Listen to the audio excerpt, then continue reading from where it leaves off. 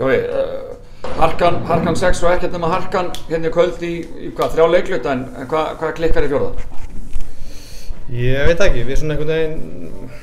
uh, Mér fannst það svona síðustu 15 minnar það fannst mér svolítið svona að vera alltaf mjúkir bara og, og svona litum ít okkur út úr því sem vorum að reyna að gera og ákvörðunum þegar í sókn voru oft á tíðum bara,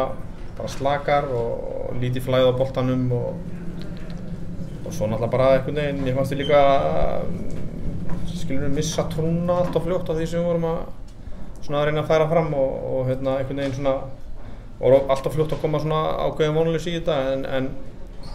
en við náðum alveg svona að gefa þessu sénsinn í restina og, og svona ef og hefði og allt það en, en, en svona síðustu 15 voru við bara ekki, ekki nægilega beittir fannst mér.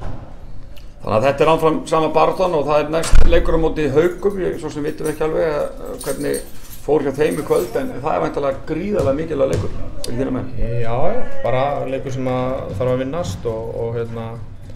og bara gott lið hauga og allt það, erfið mútiðli og, og hérna bara verðut verkefni. Þannig að svona framaldi, hvernig, hvernig líst þér á það? Bara vel, skilur, þetta er bara gamla góða, bara eitt líkur einu og við ætlum okkur að komast eins, eins og ofalega á hægt er og, að komast í þessu úslagefni og reyna að vera eins og ofalega á hægt er og þá þurfum við að vinna á fimm daginn. Flott er, takk. takk.